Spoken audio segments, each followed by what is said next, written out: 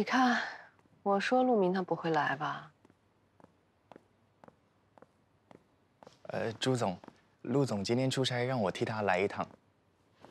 请你转告你们陆总，我下午已经去过交警大队了，把事故发生的真相都跟警察说了。不是说好您帮陆总圆一下的吗？您怎么能把他给卖了呀？对不起啊，我不会撒谎，我也不愿意撒谎。那您这就有点不地道了吧？您要是实在不愿意帮忙，您可以不说话，这样警察也没有证据找我们陆总的麻烦。这酒吧到处都是监控，走廊里、车库里都有监控，他们调监控一看就知道那天是谁开的车了。您这真的是……我劝你，你要真为你们老大好，你就让他赶紧到交警大队去自首，现在去还不算晚。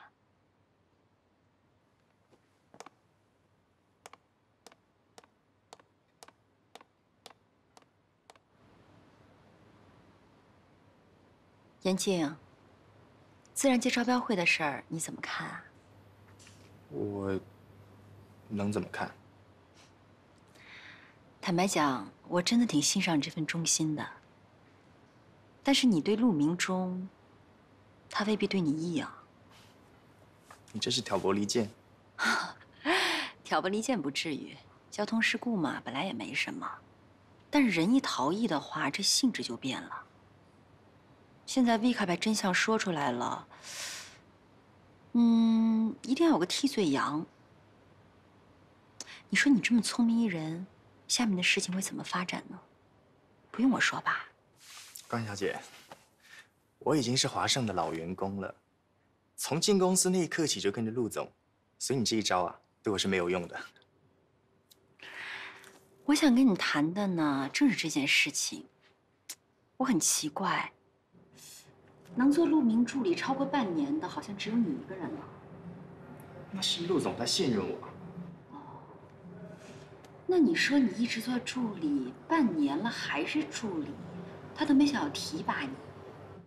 那在他眼里，你算什么呢？你想过没有？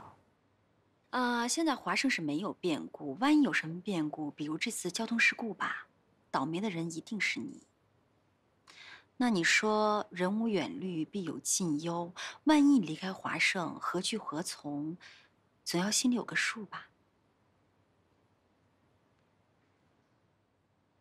盛威集团，房地产贸易，他们公司呢，现在正在招一个行政助理，跟你的专业刚好对口。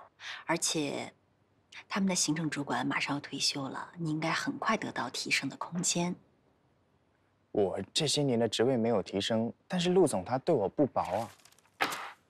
广富集团，他们也在招一名行政助理，而且薪资呢是你现在的三倍。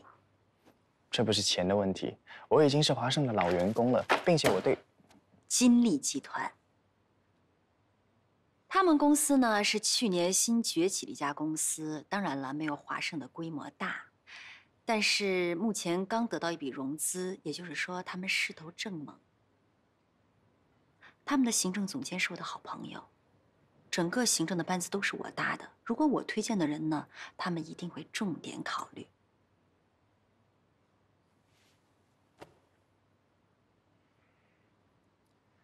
关小姐，您真的可以兑现您的承诺吗？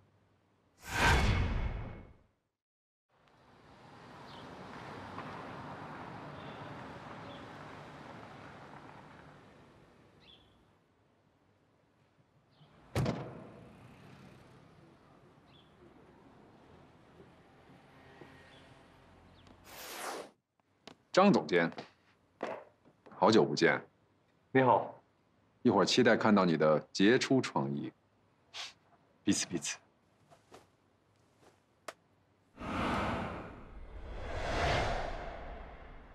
请。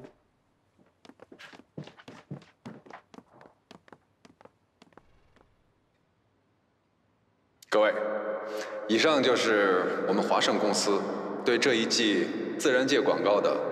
新的创业方案，谢谢大家的耐心观赏。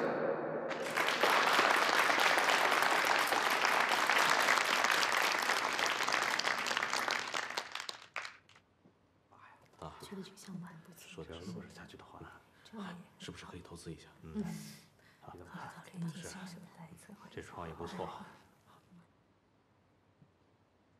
什么情况？为什么华盛的方案跟你的一模一样啊？怎么知道你方案的？这还用问呢？肯定是有内鬼啊！凡是参加初稿会议的人，都过不了索菲亚这一关。现在不是纠责的时候，你怎么应对？方案是我写的，临场发挥吧。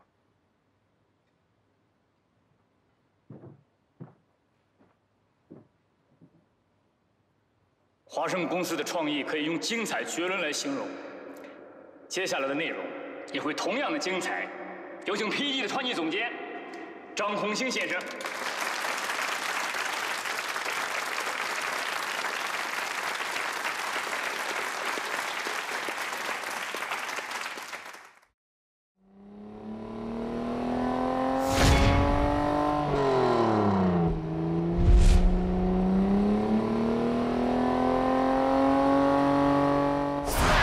最后是华盛公司的报价，他们是四千万，四千万，四千万。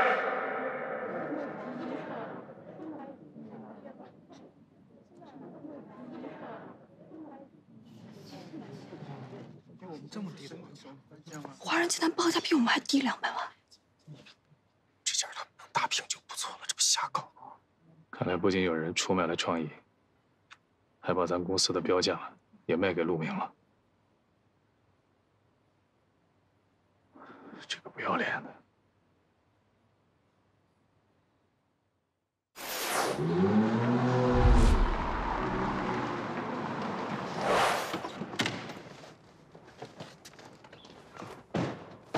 走。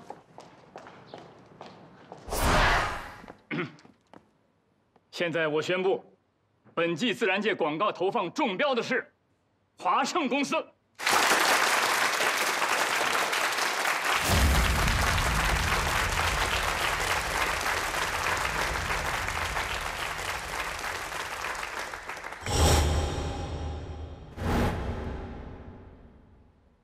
等一下。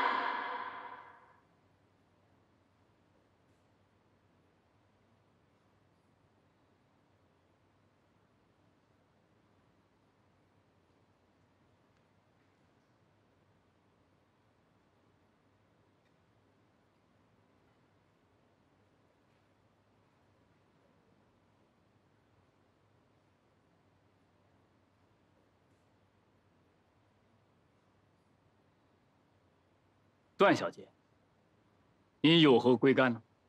我今天是代表 PAG 来的。您不觉得陆总的方案跟张红星的方案很雷同吗？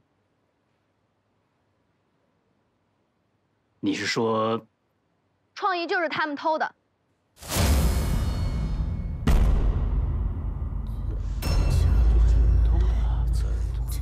这这怎么可能？这种事情不会是真的是？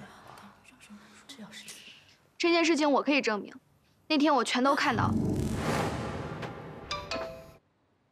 陈小姐，张红星的创意方案已经收到，这是说好的尾款，这次的合作很愉快。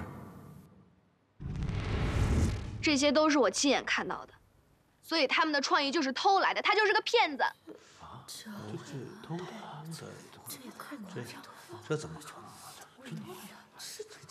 这种事情会是真的是？陆总，这小孩说的是真的吗？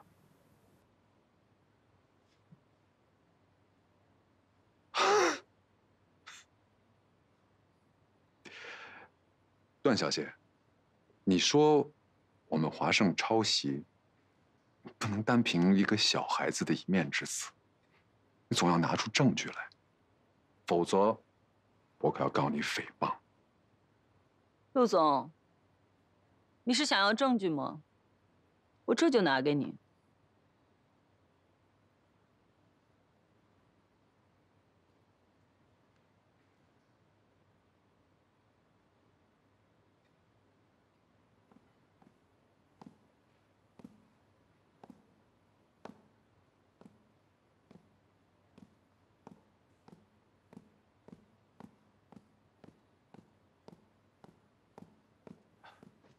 陆总，严静，你在那干什么？陆总，实在是对不起了，人不能在一棵树上吊死，我这也是跟您学的呀。严静，你想好了再说话啊。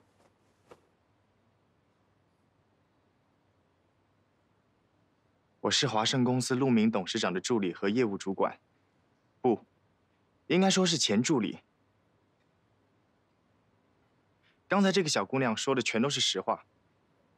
这一次华盛集团的广告创意方案，是陆明买通了 PAG 张总监的前妻偷来的。啊？不是，这这这是真的，是是这样的吗？这种事儿真是的，太太不像话了。妈，你这要洗衣服啊？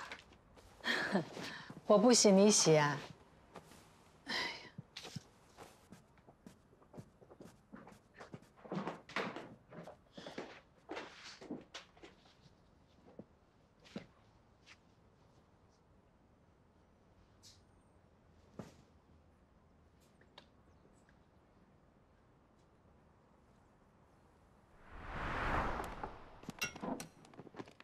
过来吧，有一位叫陈小玲的女士说要见你。让她进来。好的。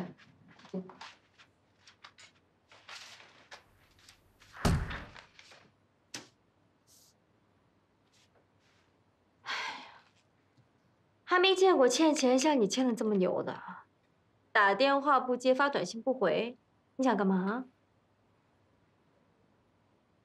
对不起啊，我上午有点忙。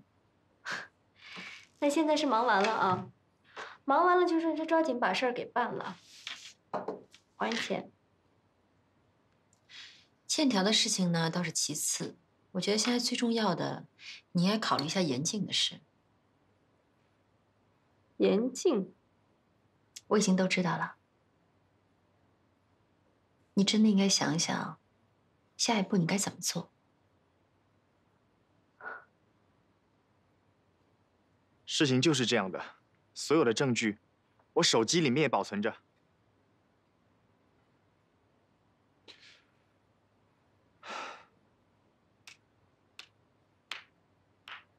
严静，我不知道这位段小姐给了你多少好处，你还是被美色迷昏了头了。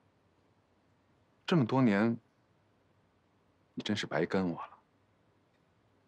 你就遇到这么一个。稍有姿色的富家千金，你竟然置忠义与事实于不顾，彻底认人家当将士。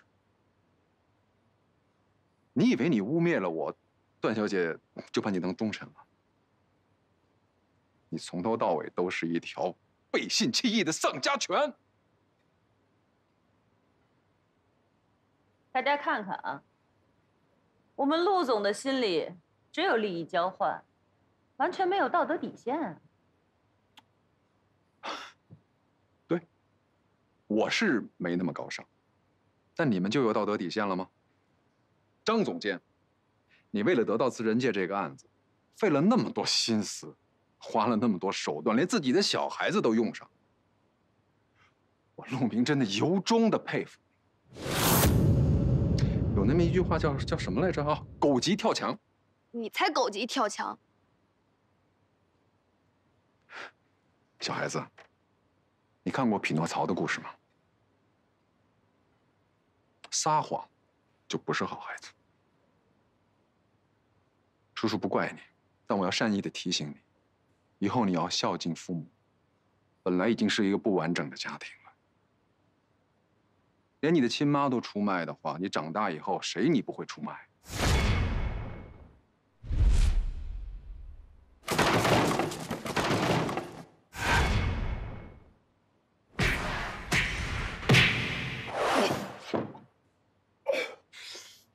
你说什么都可以你就是不可以骂我女儿。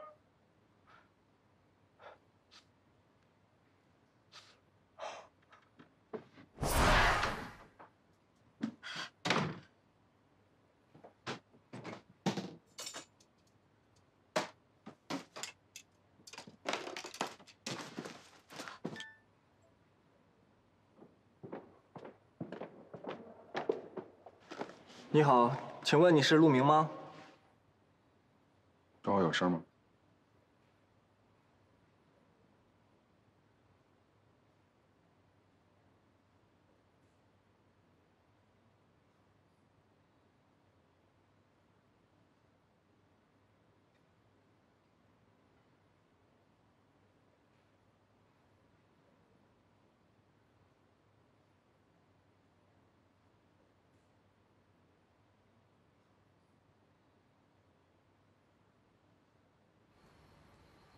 爸，你还疼吗？不疼。你知道对我而言什么是最重要的？就是你。没有人可以欺负你。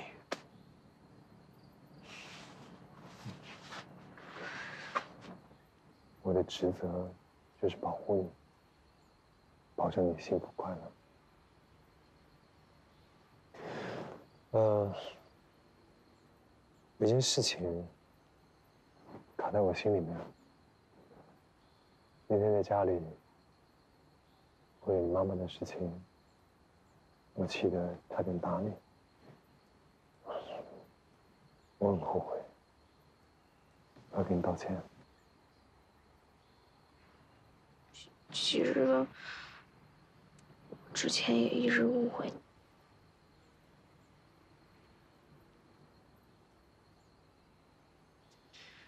我一直是一个很乐观的人，面对事情，我习惯用积极的态度去面对。但是，我我也会有无助的时候。什么时候？比方说，你小时候你出国的时候，我就觉得挺无助的。还有就是，你回来那一天，我想去抱你，可是你拒绝了我。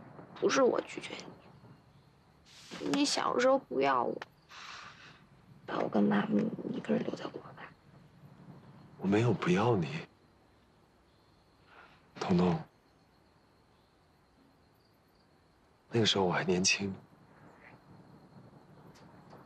我想把你留在国内。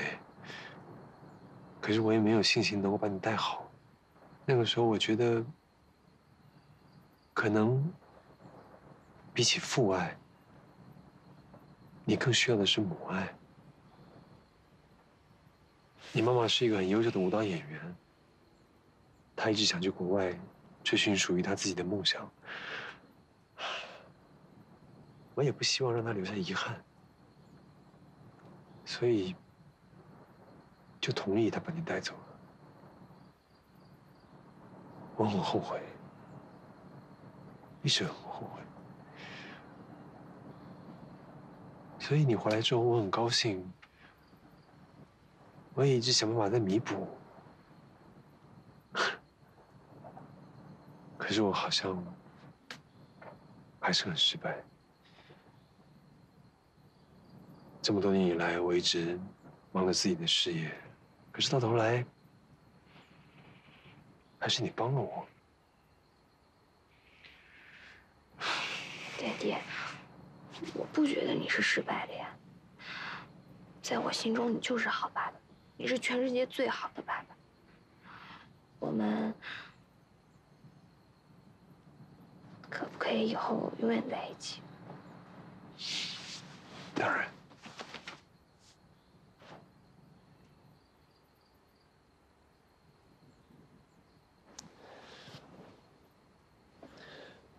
但有件事情我要跟你说，不管你妈妈是为了什么样的原因做了这样的事情，你不要怪她。说不定她有什么不得已的苦衷吧。可是，就算她有苦衷，但是她也不能以伤害亲人为代价吧？她骗了我，她也出卖了你。不会原谅。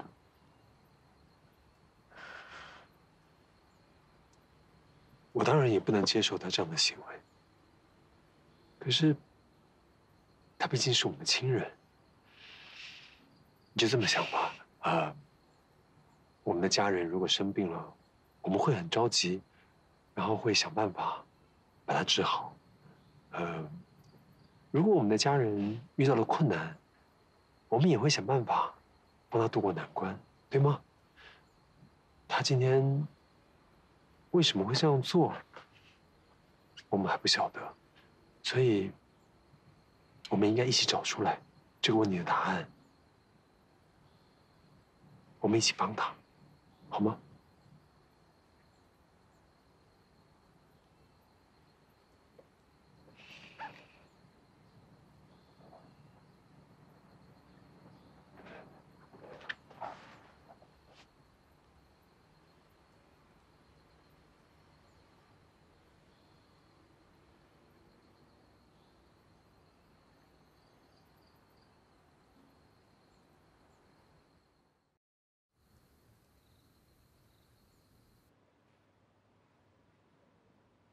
行李全都拿走了，这不就做贼心虚吗？唉，我们好吃好住待他，没想到他恩将仇报，差点把你爸爸的工作都给毁了。世界上怎么会有这样的人？好在我们彤彤明辨是非。别再说了，奶奶，我真的觉得今天已经够丢人的了。你不丢人啊，彤彤，奶奶知道。你是好心，啊？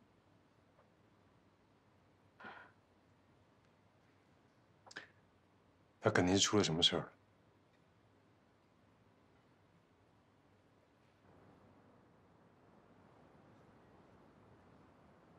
怎么卡劳我啊？这么大的事儿，为什么事前不跟我商量？我怕你为难。一面是公司，一面是亲情。你这个人呐，心那么软，万一在陈亚玲面前说漏了嘴，我跟彤彤不就前功尽弃了？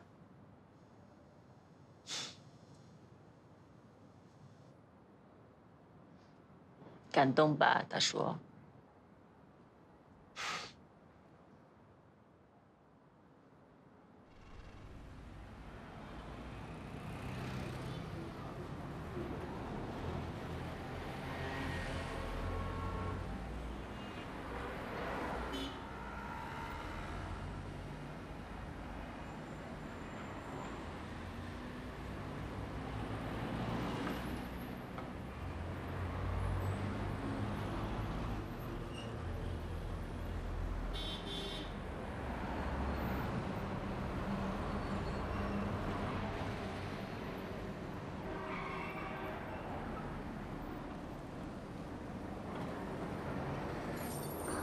喂，汤米，我今天会给你打一些钱，我，不是拿来还债的，你全部帮我买进。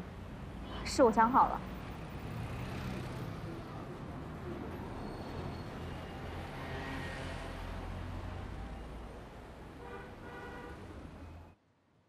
你的功劳的我都记在心上，放心吧。记在心上哪行？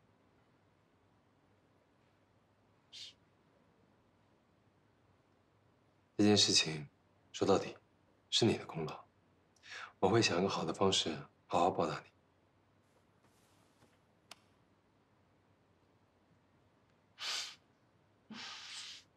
好了，陆明那边你打算怎么办？不告了？我们现在手里可是掌握着证据呢啊！如果真的举报他，陈小玲也脱不了干系，他现在不知道在哪躲着呢，就这么被牵连进去。如果罪名落实了，你想想看，童童要怎么自处呢？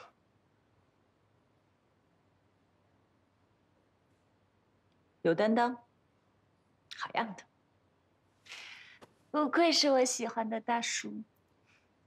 哎，我知道你喜欢关梅阳啊，我喜欢你是我自己的事情。你不用有心理负担。走了。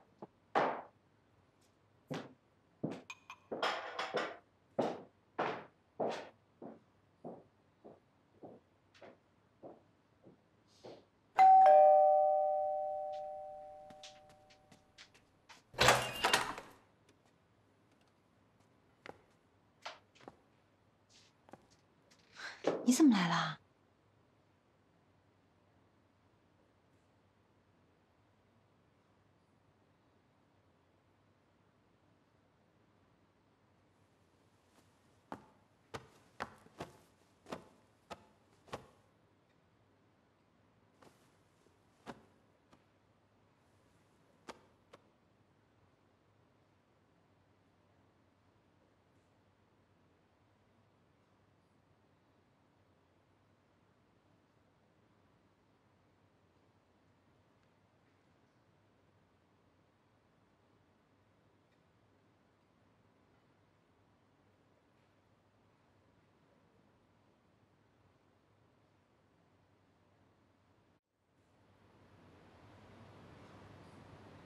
哎，早啊！来了，来了，来了。什么呀？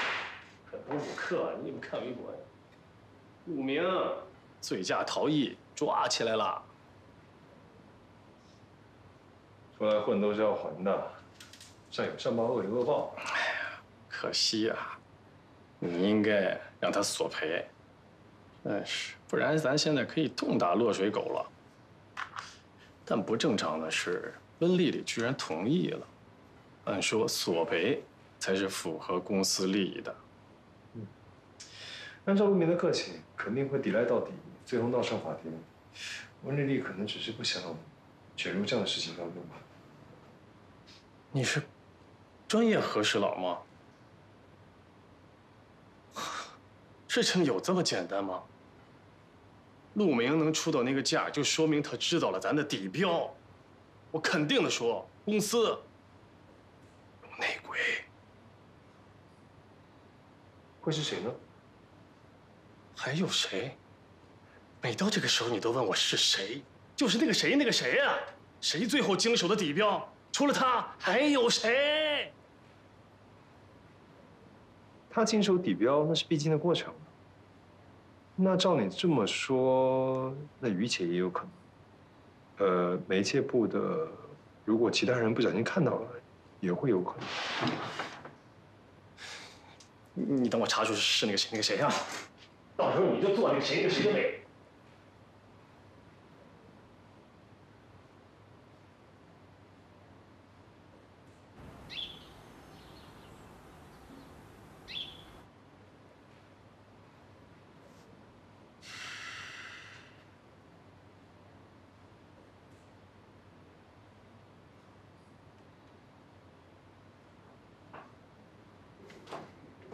你吃饭了没有？哎呀，你不用给我送吃的，我这什么都有。哎呀，你看你吃的都些什么呀？给你。中介的工作干不了，可以干别的，你至于这个样子吗？不是，我现在怎么出门啊？我就是去超市做导购，那被别人看见也不行啊。我觉得我要不还是回老家躲躲得了。回什么老家呀？妈看你这样子还不气死了？以后别再吃这些方便面了，每天就吃泡面，一点营养都没有。就这么点事儿，你至于这样吗？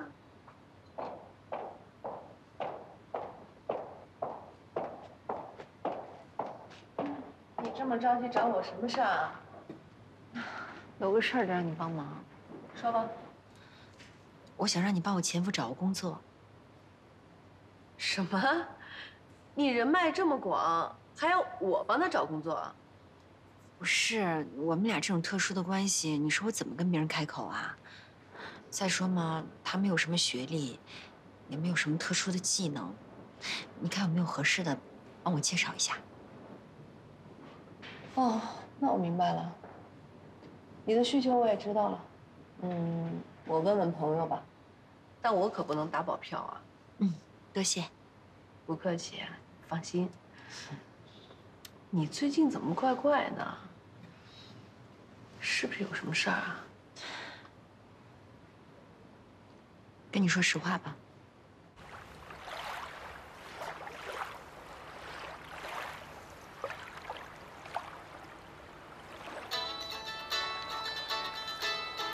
嗯。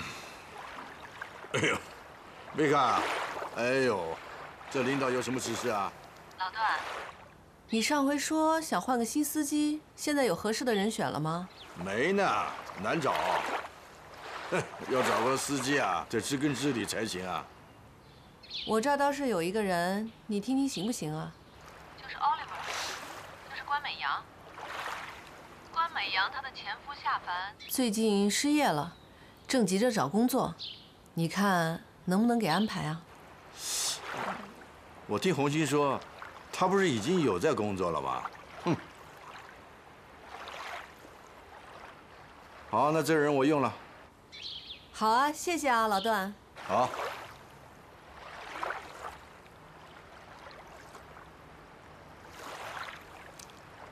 红星啊，你跟小关这一路走过来，挺不容易的。啊？你话说一半。钓鱼吧。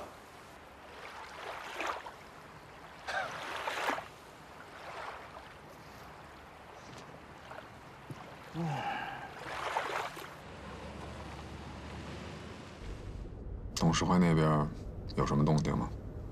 董事们都很生气，要求你给一个合理的解释。楚伟香这个臭女人，可真是把我给害惨。我不能这么便宜了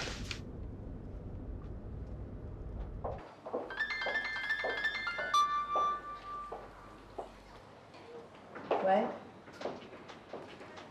你出来了？刚出来。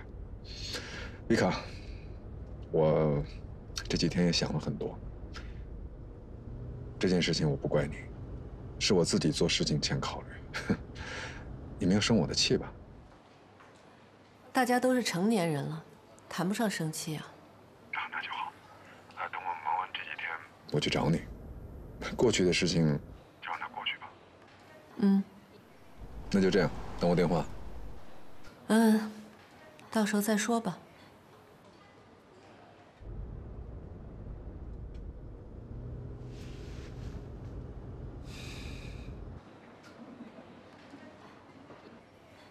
小刘，我今天有点不太舒服，我先回去了。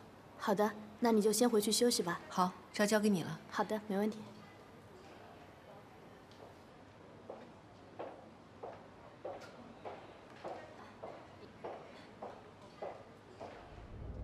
之前那个司机小王出来了吧？哦，前两天已经出来了，现在人事还在我们司机班，您看怎么安排？你知道该怎么做。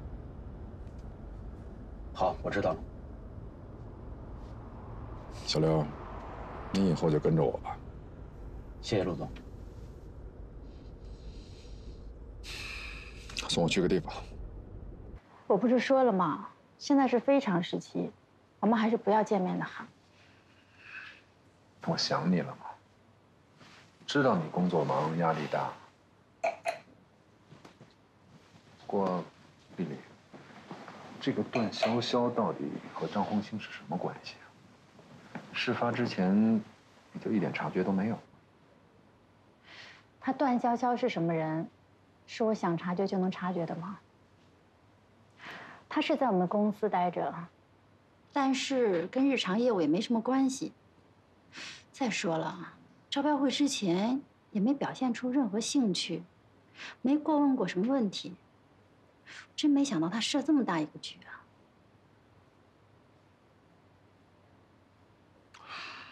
算了，反正事情都过去了。不过我还是应该感谢你。我知道，你的心还是向着我的。你最应该说的是对不起吧？合作，最重要的是坦诚。你派人去偷张红星的创意，也没给我透个底。连我都防着，没办法，人心隔肚皮嘛。谁让我们都是绝顶聪明的人呢？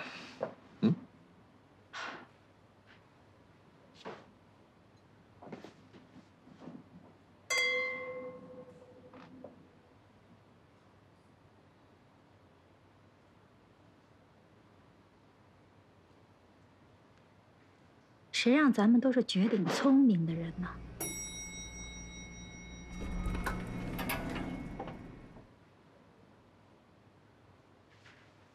这是江白的事情我已经知道了，拿去帮他还债。齐欢这个大嘴巴真是。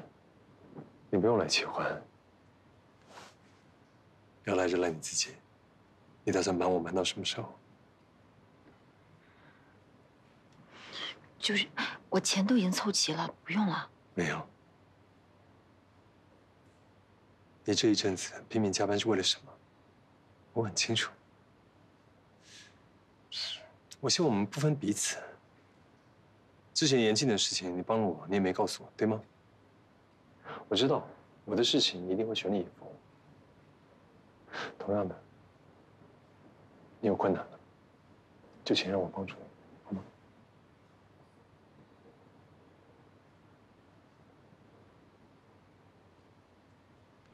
有什么事儿你就直接打个电话呗，还用预约啊？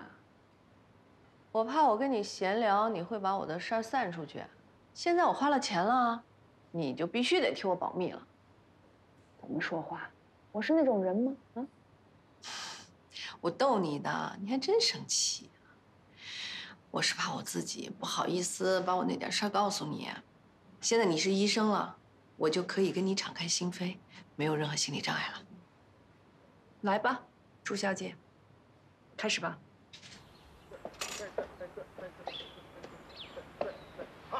在哪里？你在这儿，在这儿，在这儿。在哪里？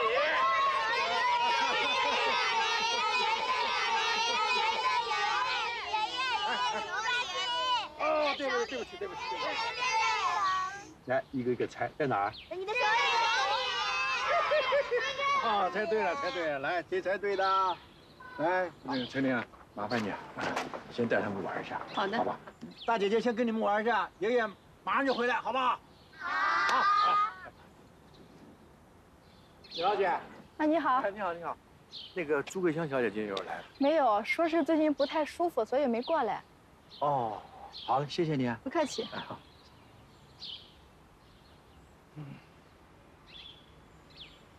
我的事儿就是这样。本来吧，到我现在这个年龄，能遇到一个合适的人已经很不容易了。可是相处这几天，我发现我跟他的性格完全不合，而且他的三观，我根本就接受不了。我是不是就不应该走出这一步啊？怎么会呢？遇到一个好的人，你就会变得幸福；遇到不好的人，你就会变成哲学家。天哪，你就是一个哲学家。这不是我说的，这是苏格拉底说的啊。你说我是不是要求太高了，太不务实了？就奇怪，这谈恋爱怎么这么难呢？真难呢，越来越难了。谈恋爱为什么会越来越难？因为随着年龄的增长，你会对婚姻的期待变高了。对比马斯洛的需求理论来看，呃，婚姻早期是为了实现生理和安全的需求。当这个低层次的需求你实现了以后，你就想争取高层次的需求，注重爱和陪伴，或者你希望在这个婚姻当中获得尊重和自我实现的可选择方式，它不是一个必需品。太复杂了，太复杂了。我看我还是算了，我就放弃吧。我更适合一个人待着。你别一副看破红尘的样子啊！根据我这个 专业心理医生对于你在感情方面的评估，我觉得在这个方面呢，你还处于一个青春期的状态。